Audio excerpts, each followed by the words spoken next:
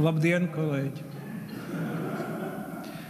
Nacionālais drošības likums nosaka, ka gada laikā pēc pēdējām saimnes vēlēšanām saima apstiprina jaunu nacionālās drošības koncepciju. Tas ir izdarīts. Saima ir lēmusi, un saimas lēmumi ir jāpilda. Tā skaitā, vald... Tā skaitā valdībai. Paldies!